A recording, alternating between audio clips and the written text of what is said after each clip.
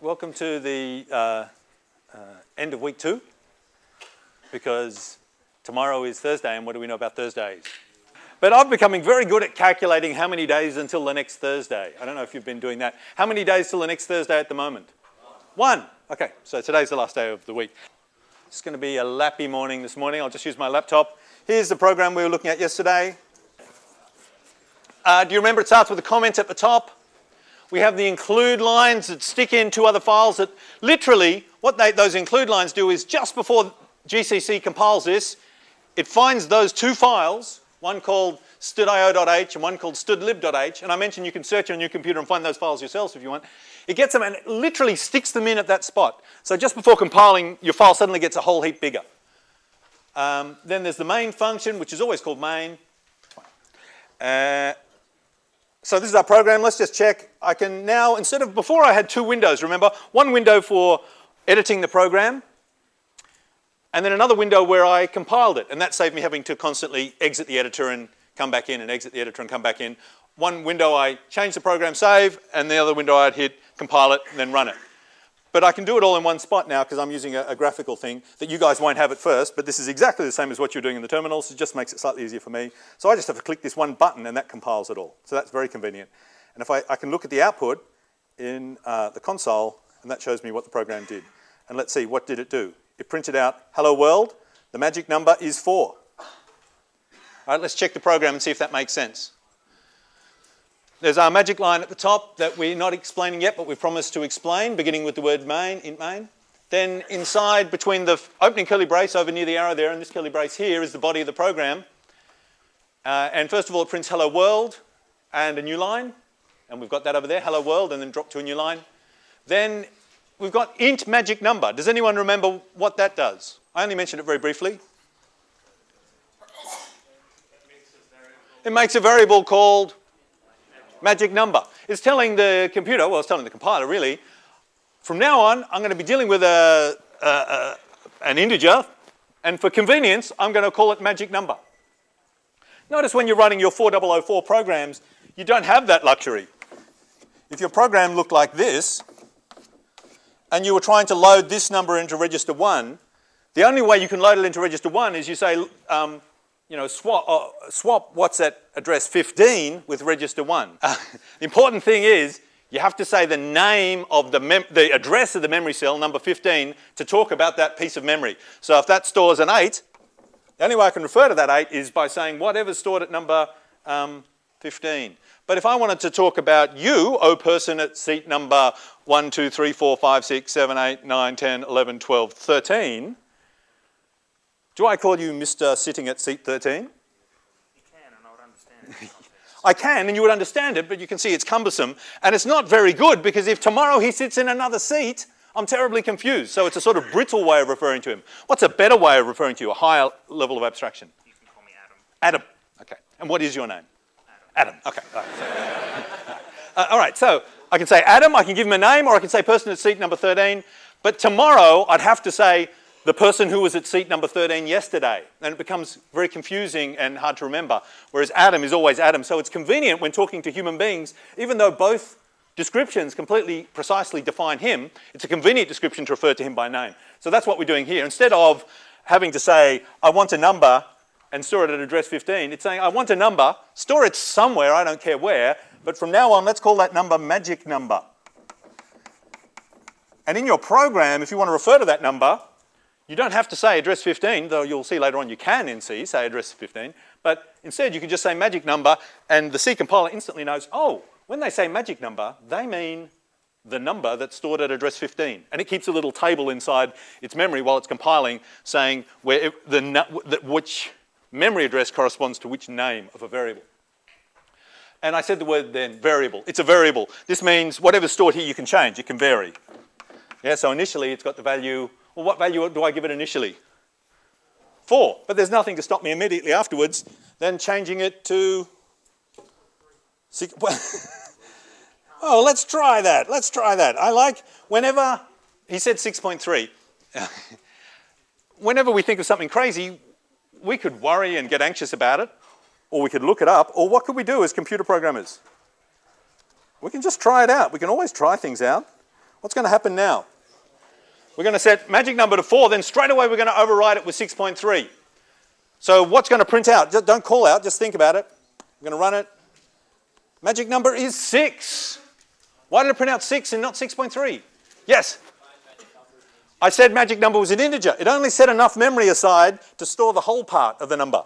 And I wanted to stick 6.3 in. It said, sure, Richard, you can do that. 6 point, forget the rest, who cares? and it silently truncated the number. And it won't round it, it'll truncate.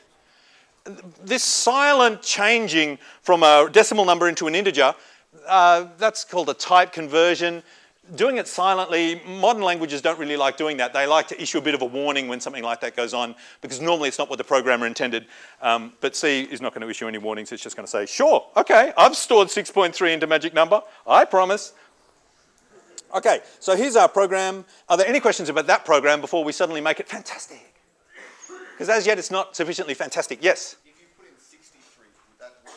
If I put in 63, would that work? In other words, is the Intel Pentium chip, similar to our 4004 chip, only able to store numbers between 0 and 15, or can it store bigger numbers? Let's have a look. 63, it can. In fact, how big a number can we store in our Intel Pentium chip? times 10 to the 9. What's that? Well, all these answers. Seven, nine? No, bigger than that, guys. times 10 to the 9. 4.3. Hey, wait, stop, stop, stop. You guys are going to have to have a duel outside. What happens if you type in 6.3 times 10? Oh, what happens if you type 6.3 times 10? I like the way you want to just try things out. You know what I'm going to say? No, do you? No. I'm going to say, that's such a good question. You should go home and try that out. okay? Because this, what you're doing is the perfect way of learning how to program, which is you're starting to ask, well, what if, and what if, and what if? And the correct answer to what if is never wait till next lecture and ask Richard. The answer to what if is let's give it a go. It's a wonderful joy we have in computing that other people don't have. If an architect thinks, what would happen if I built a bridge and I used this material rather than that material? There's only expensive ways of finding out the answer to that question. But we can just try it out in one second and see. In fact, when there's something wrong with my programs, what I normally do if my program's not compiling, which happens all the time, there's always an error in my program, I save a copy of it somewhere else, and then I go into my program and change it like crazy to see if I can make it work. Just being completely relaxed, even if I'm ripping the guts out of it and throwing this bit away and that bit away, just trying to narrow in on the one bit that's broken. Because eventually when I, in this copy, find the one that, bit that's broken, I'll go back to the original one and fix it. Doctors can't do that. Yeah, yeah, yeah.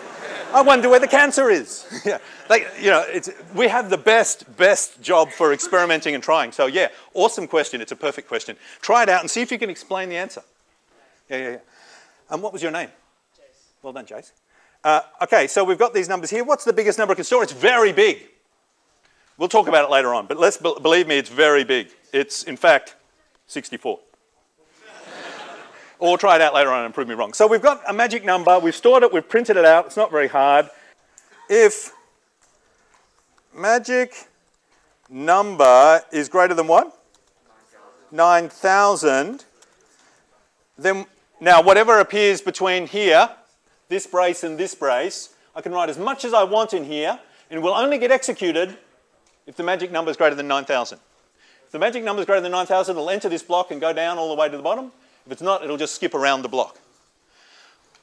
This is like when we're talking about uh, following a recipe. Remember I was talking about rules and rules that aren't always specified? A recipe says do this, do this, do this. It's got all the steps in a recipe. They rarely say do step one, now do step two, now do step three. It's sort of one of the rules that isn't ever articulated is you start at the top and work down. I, well, is that who comes from another culture here where does anyone read bottom to top in their culture? Some cultures do. Yeah, some people go right to left, but I reckon some people go bottom to top. Does someone? Yeah. If you do top to bottom, that's Chinese. Top to bottom is Chinese. I was just wondering if there's a bottom to top people and how they'd do recipes, and if you end up cooking the same thing if you run the recipe backwards. Or if you have to put a cake in and you get ingredients out at the other end. That'd be awesome. Okay, so one of the things that's implied that was never really fully stated, though we did fully state it in the microprocessor, is that we're going to start at the top and we're going to go down line by line. And after doing one line, I'm going to do the line under it. And after doing that line, I'm going to do the line under it. And the program's going to execute just going down the page. And people don't even normally articulate that. It's just something that's taken for granted. With an if block, it's a bit different. You're coming down, down, down, down, down. When you hit the if block, either you, the, com the computer at that point, while it's running, does this test. And if the test passes, it go, keeps going down inside the if block. And if the test fails, it just jumps over the if block and keeps going underneath it. Okay. Um, so we were going to, if it's over 9,000, what were we going to print? I can't remember. I like toast. I like, I like Danes. I like, I love Danes. I like aeroplane jelly. There's so many things to like. I just want to say, uh, I was speaking to my mum on the weekend, and she told me I was a quarter Danish which I'd forgotten completely that grandpa comes from Denmark. And I thought about it more and realized it's not actually Danes that are bad. Just because one person in a group might let the group down, it doesn't mean they're all, so I think now Danes are awesome. So I'm going to print I like Danes. So that's great. So no, we'll have no more of this sort of stuff I'm seeing on the forum of being disrespectful to another nation who's a great nation. There we are. Okay. So the magic number. Oh, didn't print I like Danes. Ah, why not? Because the number's not greater than 9,000. Yes? Uh, yeah, shoot. But how would you, like, say in your text you want to write slash n? Yes. Oh, that's a good question. What's your name? Harry. Harry's asked an excellent question. He's noticed that C here is mixing essentially control and data together. The data it's printing out is the text, but the slash n is sort of a bit of control, saying drop to the next line. What if you literally wanted to print out backslash n? How would you do it? Now, what am I going to say to Harry? Yeah, think about it and see if you can work it out. Okay, I'll tell you next lecture. If you haven't got it, ask me next lecture, I'll tell you. It's an awesome question. That's called escaping. You've got to work out some way of something that's normally a special command, you want to be able to just say it. Like if you're in the, um, you're at the Pentagon in the war room, and there's a, and there's, um, a big red button. Have you seen the big red button in the war room? That's for launching thermonuclear attack, and next to it's a big red button for making espresso. and when they go there, the president has to have a way of escaping things when he's talking. So if he says, oh, um, I just thought of a good limerick, uh, I like eating mutton, general, press the button. The general has to know that in this context, press the button is not an instruction from the president, but it's just something he's literally saying. It has, it's robbed of its normal meaning. And hopefully the president, the general can work that out by context. Yeah. so escaping is this real difficult thing. If you're ever mixing control and data together, then sometimes the data can contain control values. How are you going to respond to that? Yeah, yeah, yeah, yeah, yeah. So think about it, try. Tell us next week if you, uh, next lecture if you haven't worked it out. And if you do work it out, post a post on the forum so everyone can see it. Okay. All right. Um, how are we going to test this program? It seems to be working correctly. Would you agree? We've got it equal to 64. When it's 64, it's not supposed to execute this line. We ran it. It didn't execute that line. It didn't print it out. So the program appears correct. Have we tested it thoroughly? No. How do we test it thoroughly? We, yeah, we have to test a case where it goes through the loop, and we have to test a case where it does, um, the, through the if, and a case where it doesn't go through the test, the if. So we have to do two tests. What will I make it? 9001. Oh, look at this. I like Danes. Danes, Danes, Danes, Danes. Okay. Is anyone here Danish? You are. Yeah, anyone else? Do I have any comrades? Brothers in arms? No one? Julian? Julian, he's. Look, I, I he is still around actually. I noticed him still posting on the forum. But um, uh, I, I, assume he's in another country now. So we've tested. Now, this interesting thing about testing, can I just talk about that for a split second? When we were, do you remember when we were talking about estimating the number of pieces of toast it would take to fill the lecture theatre? And I said you have to get your programmer's head in, you have to scope out a puzzle. When someone gives you a problem, you've got to think instantly, what are the important things about the problem? And for me, the important th- being a programmer, the important thing about that problem was, how will I know if my answer is correct or not? So I think you guys all put your effort into working out the answer, which is awesome. I didn't try it. try it's one way of testing, but, but you know, that's like doctors. We're computer programmers.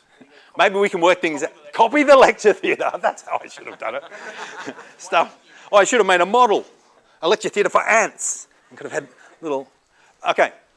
So what you should have done, I reckon, but of course I didn't tell you, so none of you did it. Ha ha ha, welcome to uni.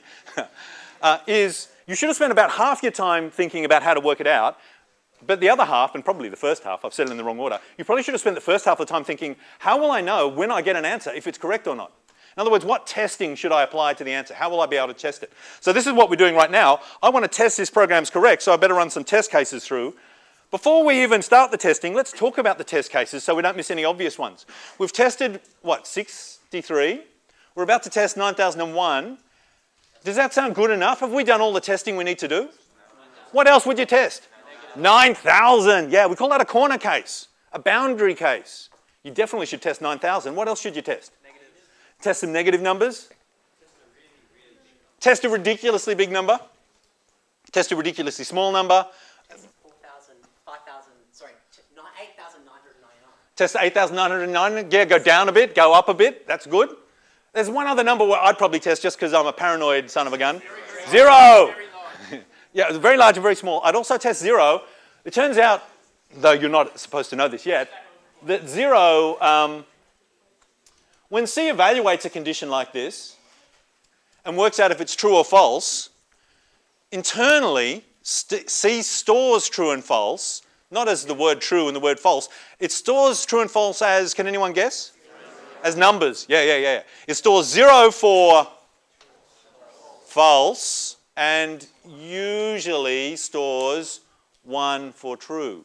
So to check that this is working correctly, I'd probably stick ones and zeros in here too, just to see if it's somehow getting confused between numbers which are being compared and the result of the expression, which is a, a test value, a true or false. So yeah, all those things are good tests. Yep. What's the difference with, uh, between the brackets you have used? Ah, between the two different sorts of brackets, that's a very good question.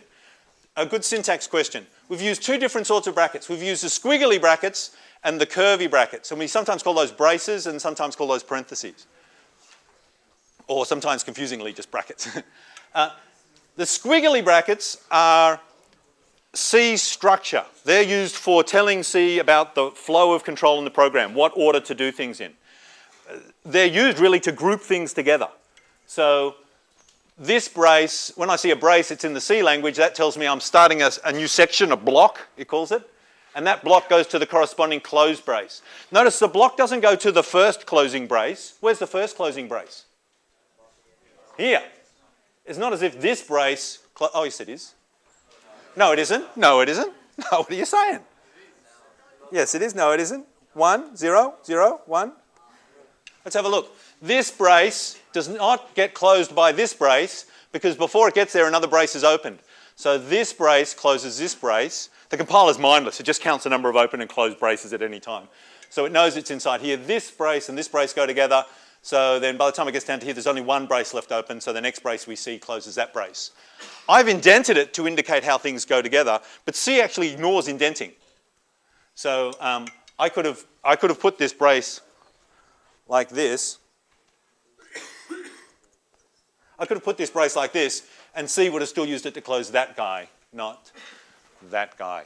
And brace errors are a real common thing in C. If you don't indent them right, you can get confused as to what you're opening and closing. So for grouping things together in C, we use the curly braces. Parentheses have um, two meanings at the moment. One is um, the same as in maths, which is just grouping expressions together. And C, as in maths, uses the BODMAS rule. You remember the order in which you go through evaluating things? Essentially, the precedence in which it goes through evaluating things is does brackets first, then it does multiply, then it does divide, then it does additions, then it does subtractions. Yes? braces, Ah, what do you mean? Instead of braces, could you put another if? Oh, yeah. Can you put an if inside an if? Yeah, like a Russian doll, like nested inside each other. In fact, we use that word nesting. Yeah, yeah, yeah, yeah. You could. You could say if it's greater than 9,000, do that. And you could say, oh, you could say here, what would we say? Uh, if uh, magic number is less than, no, no, no, no, is less than 9002. Oh, less than or equal to? What about this? That's how you write less than or equal to. Does that make sense? There's a less than sign, then an equals to sign. And if you want to say greater than or equal to, just greater than or equal to. Yeah. Uh, equal to or less than, it'll go, what the heck are you talking about? You're from one of those countries that reads recipes from the bottom. Um, so yeah, it's greater than or equal to or less than or equal to. Write them in the order they appear. So we could say if it's less than or equal to 9002, you, you can put 9001 if you want, sure.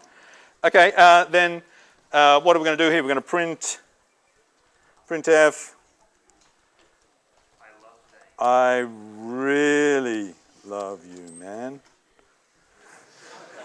Yeah, you understand. Okay, here we go. I like Danes. I really love you, man. The magic number is 9001. Okay, so uh, you can imagine what would happen now if it was over 9000 but not less than or equal to 9001. In that case, well, let's talk about it. Comes down to here, la, la, la, la, la, la, la, la, la. If it's over the 9,000, it enters this gap, this area, this block here, between this brace and this brace. If it's not over 9,000, it just goes straight down to here. If it's, um, so suppose it is over 9,000, then it starts coming down here. It does that first always, then it considers another test. Is it less than or equal to 9001? If it's less than or equal to 9001, it does this as well. Otherwise, it skips over this to here, which is the end, which is the end, so it just keeps going. Okay? And sure, you could do that. Uh, let me just comment it out. So now it's only going to say I love you, man, if you type in 9001 exactly. Does that make sense? Is that, that wasn't what you were asking? Yeah, yeah. Yeah. Okay, let's test that out. I really love you, man. Oh, because we had 9001. How, what a coincidence. And if we made it 9000, just does nothing. And if we said, You wouldn't have to type in 9001 exactly, you just have to make it change what the number is in your first if. Uh, yeah, you could change it. You could change it in the first one. Yeah, that'd be mean. Wouldn't it? You, could ch- you, can, you can do anything in a program. Yeah, yeah, yeah, yeah. You can, you can say, if magic number is over 9,000, magic number equals 1, print, you said you're over 9,000, but you're only 1. but, uh, you know, there'd be no point in doing that. Okay, so does everyone understand ifs and how ifs work, just how they affect the flow of control? There's another thing to if called an else. After an if, you can say else and a pair of braces. Now, if the magic number is less than or equal to 9001, it does that. Otherwise, if it's not, it does this. After both of those cases, it then jumps to the end. So it'll either evaluate, it'll execute the first block, or it'll execute the second block. And then, in both cases, it will continue afterwards. What about, you guessed wrong.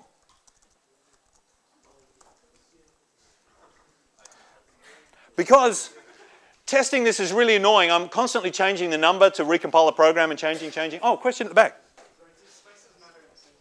Do spaces matter? That's a really good question. No, C will be quite happy if you put 100 spaces or just one. And often it'll be happy if you put none, unless that joins things, to, words together and things that, yeah, yeah, yeah. But spaces matter to us as programmers. We want our program to look beautiful and clear. So we have a particular way of spacing things out. I'm doing it here.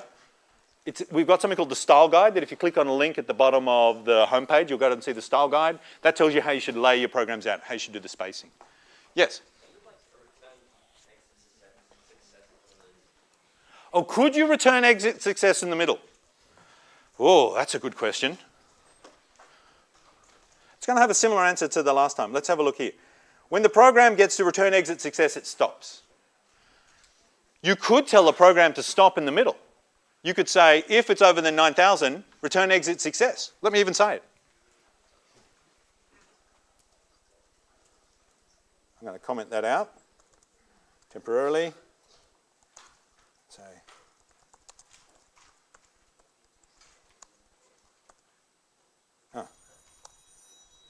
Oh. Sorry. Hang on a sec. Hello? Uh, it's just me being funny. Uh, okay, so return exit success in the middle. Now, what will happen now? This is crazy. If the number's greater than 9,000, it'll proceed down to here.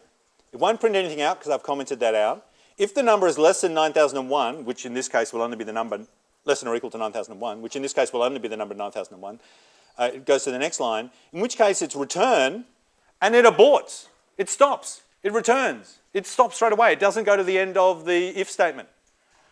That's what C does.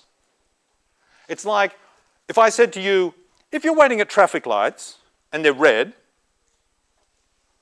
and you, you know, you're going for your driving test, okay? You're going for your driving test. You're at traffic lights and they're red. What happens if you just go, man? Why don't you just press the pedal down? What'll happen? Do you go or are you forced to stop? The answer is, well, actually, you'll go through the red lights, even though they're red. The, the laws of physics let you go through the red lights. Cool. No, it's going to speed up my trips to uni no end. But it's a bad thing to do. Although you're technically legally allowed to do it, it's a bad thing to do. Same with this. We're never, ever, ever, ever, ever going to return from inside an if statement. We're only ever going to have one return at the, for, for each function, and it's going to be the very last line of the function. Even though you can do other things, we're never going to do it. Because if you do that, you're creating something called an unstructured program, which is oh, bad, very bad. Uh, how would how someone who's a programmer, how would you express the badness of writing unstructured code? Very bad. Very bad? yes, yes, yes. That's the sound I make when I see it. Spaghetti code, unstructured code, writing code in such a way that um, you're not obeying the normal conventions of writing programs uh, normally makes the hairs on people's arms stand up when you do it. You're legally allowed to do it. Lots of bad programmers do it, so you'll see lots of examples of code where people are just writing stuff that's legal C, so they just write it. But other people, when they look at your programs, won't understand them. They'll be confusing. Confusing means error prone. Error prone's bad because in computing, the main thing about the main obstacle we're going to face as we write our programs is making them correct. And attracting errors is just a nightmare scenario. Yes? Okay, speaking as someone who has not absorbed the norms of programmer society, Yes. to me that's ridiculous. Yes. I mean, surely you get into a situation where you're, where if something's a certain way, you want your program to finish. Yes. And tell it to finish. Yes. What's wrong with Yes, I agree. It's, let's all just shout out, I want to finish now. Can everyone shout that out? I want to finish now. At a certain point, we want to finish. Why can't we finish? It's like, I feel like that when I'm waiting at the red lights. I'm thinking, there's no cars coming.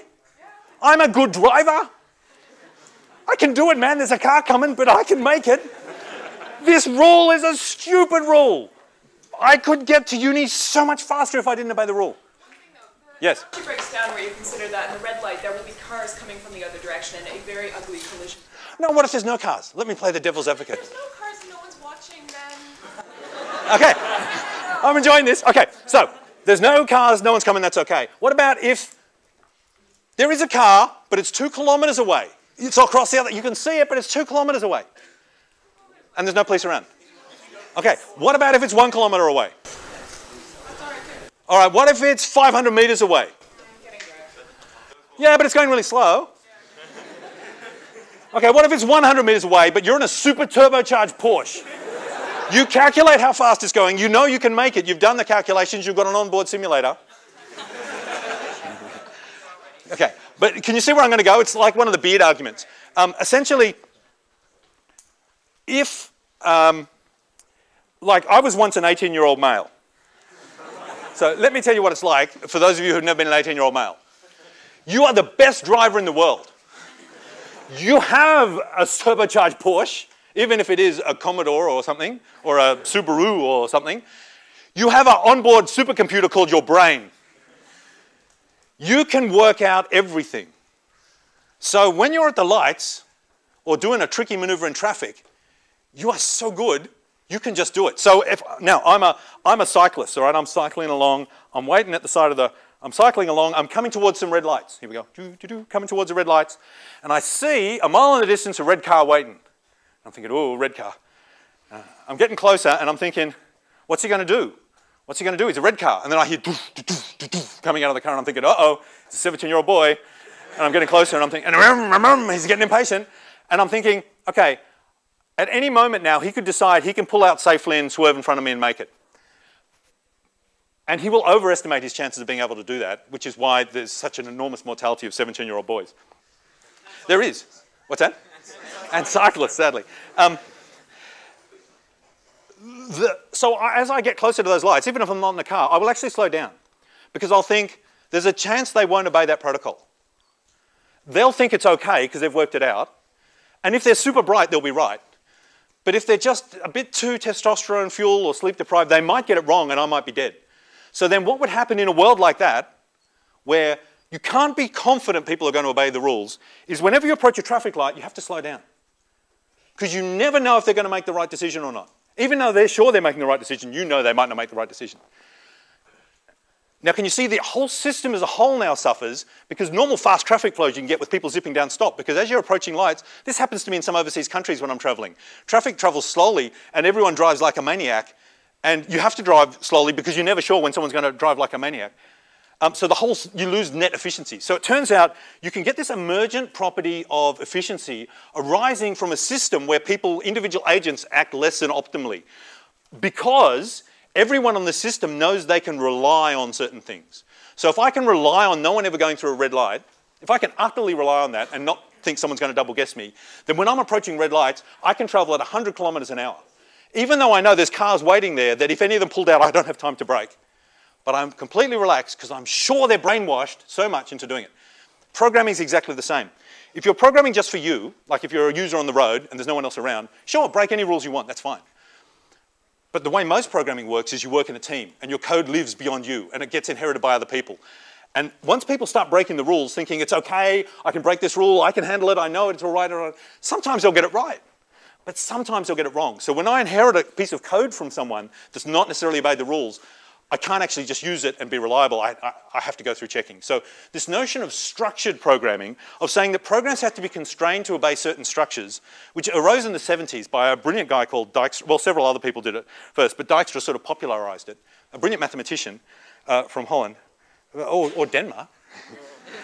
Uh, this notion was that you write all your programs to look in a particular way, that to use only certain structures in certain ways. And by doing this, it turns out it makes them mathematically analyzable, so you can start to prove your programs are correct.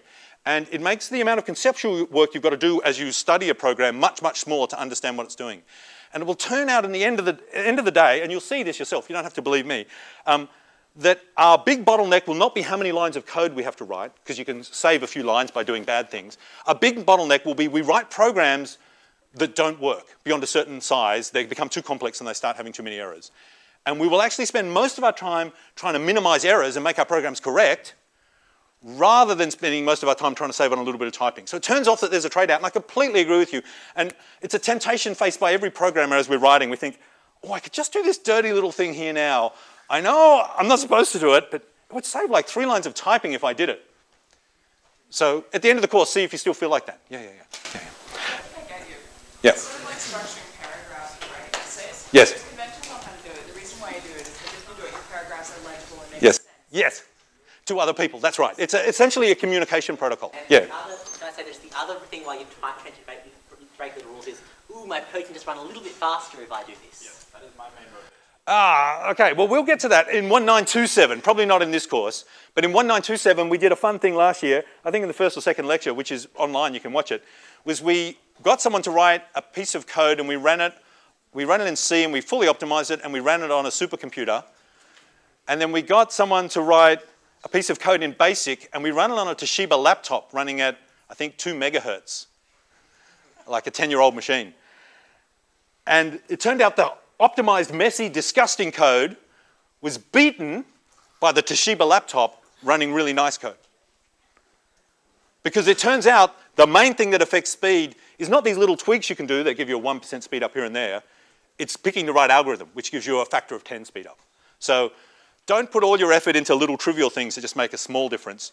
Work out what the main thing is. Like I said, when we're scoping out estimating in the room, work out the main thing that you're interested in solving, solve that problem first. Now, we're running low on time. I like all the questions, but maybe this will be the last one. Yeah, shoot.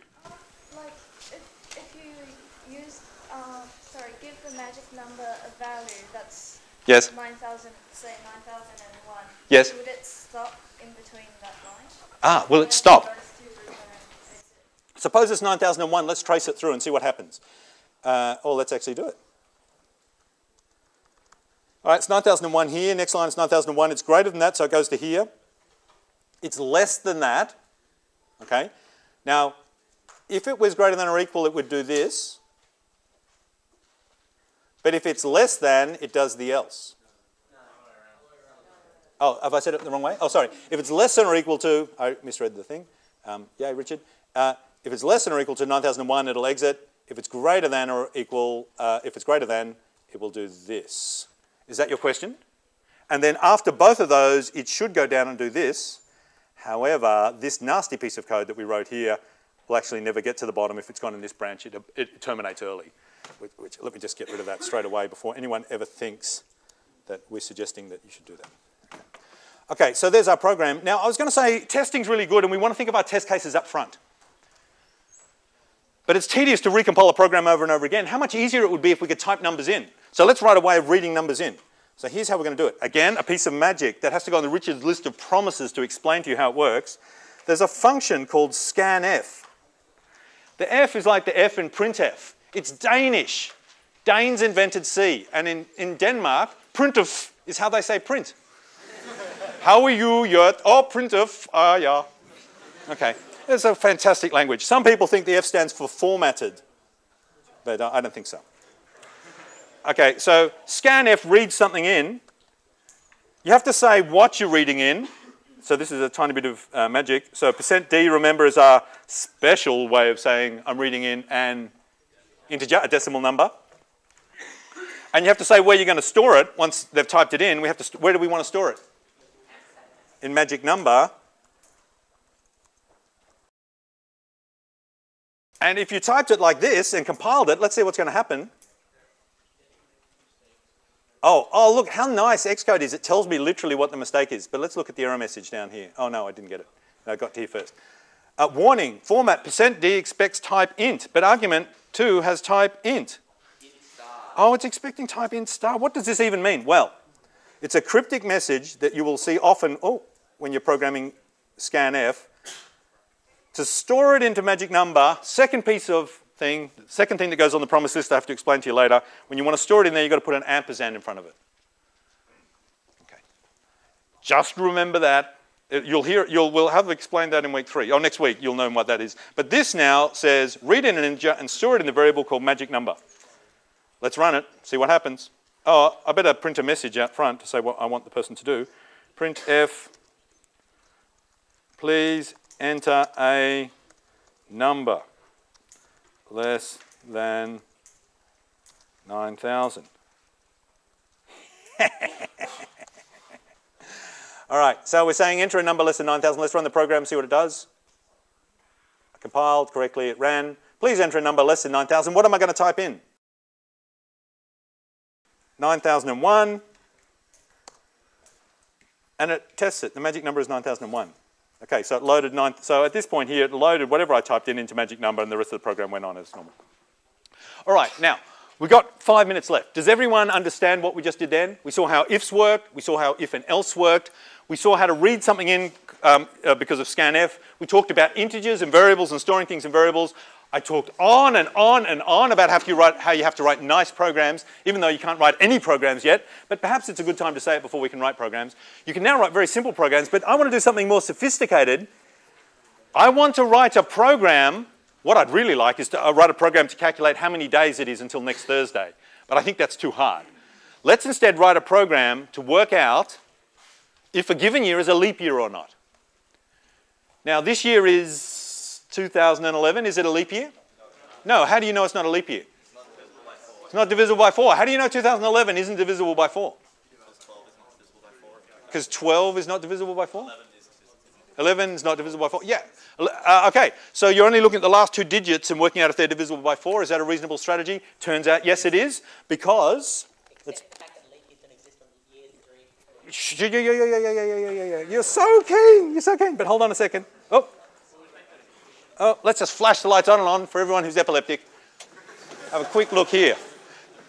The story was, the claim was that 2011 is not a leap year because leap years are years that are divisible by 4, and 2011 is not divisible by 4. And when I said, why is it not divisible by 4, he said very cleverly, because this isn't divisible by 4. And I want to think, oh, how, do he know, how does he know that he only needs to look at the last two digits? Well, it turns out if you're a parent, you know lots about divisibility because you often have to share things amongst your kids. And if it's not divisible, say I have four kids, I have four kids. If I have to share something between all four of them and it's not divisible by four, I'm going to have something left over, a remainder, and everyone will have a fight over the remainder. So I'm very interested in calculating if things are divisible by 4. When I write 2011, I actually mean that's two lots of what? That's two lots of 1,000 plus zero lots of what? 100 times 0 plus, let's say, 11. Another way of saying this is this is 20 lots of 100. Would you agree with that? In our wonderful decimal system. If you chalk off the last two digits, just ignore them completely, like C does when you give it a fraction, then the first two, the, the remainder tells you how many hundreds you've got. So this is 20 lots of 100 plus 11. Now I know 100 is divisible by 4 because I learned that when I was really young. So that's 20 lots of 25 for each of the girls with 11 left over. So this is always divisible by 4, this part. So the whole thing will be divisible by 4 if and only if the last part is divisible by 4. Does that make sense? Okay, so 11 is not divisible by 4, it's not a leap year. So next year, will that be a leap year?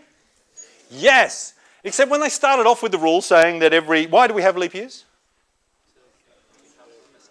To allow for mistakes in terms of the Earth going around the sun. Yeah, we essentially want winter to always be the cold time of the year. And if we get the, the period of the orbit around the sun slightly wrong, and in the number of days in the year, then slowly the year will move out of whack. So yeah, we need to adjust it. Okay, so they said, oh look, we can adjust it. The period of the Earth around the Sun is slightly more than 365 days. It's about 365 and a quarter. So why don't we say every fourth year we'll add an extra day in? But after a while, they noticed that was out of whack too. So what do they have to do? And I know you're itching to say it, say it, say it. Every Just say one. Just one. one, if it's a hundred, if it's divisible by a hundred, Yep. it is not a leap year Oh, um, Nope. Stop. A Yep. Yep. well done. Okay, yeah. So if it's divisible by 4, it is a leap year, unless it's divisible by 100, in which case it's not a leap year. And now that made the number of days on average roughly equal to the period of the sun. But after running for a little while longer, they noticed that was out of whack too. So what's the final adjustment? Someone else? The final adjustment? Every 400 years, we have to put a day back in. Unless it's divisible by 400, which if you have 400 children, you'll be very good at calculating, in which case it is. So was the year 1000 a leap year? No, it wasn't. Let's do some testing of our software, because we're about to write a program that's going to work out if a year's a leap year. What are our good test cases? A 1000 should be no. 4 should be yes. 8 should be yes. What's another good test case? 2000. Leap year or not? Yes. No. Oh, yes. So 2000 was a leap year. And I annoyed all my friends in the year 2000 saying, you know what? This shouldn't be a leap year this year. I mean, I bet you thought it was going to be a leap year. Yeah, yeah. You thought it was going to be a leap year, but it shouldn't be, except for another reason that it is. and yeah, so when it gets to 2100, though, I'm going to be able to confuse everyone. That's going to be great. So this is your formula for a leap year. So what I want you to do in the gap between now and the next lecture is somehow, using an if, or maybe two ifs, write a program that takes in a number at the top, we won't call it magic number, maybe we'll call it year or something, and prints out either is a leap year or isn't a leap year. Oh, I haven't showed you how to work out if there's a remainder. Let me just do that in one second. Do, do, do, do, do. If magic number uh, is divisible by 4, all I have to say is percent, if I say magic number percent 4, percent means what's the remainder after you've divided it amongst the children? So if you get the magic number, divide it amongst four people, the answer to this will be how many is left over. And how many do we want to be left over? Is that equal to zero? If you're comparing with equals, you have to use double equals. All right, write that little bit of syntax down. I'll show you the answer in the next lecture, but see if you can work it out between now and then. Okay, guys, see you next lecture.